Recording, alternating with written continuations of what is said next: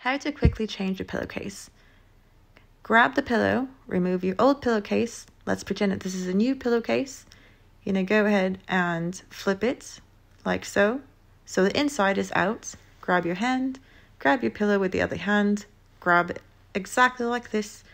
Now you stretch your pillowcase over the pillow, plop it in just like that, and there you are. Thanks for watching.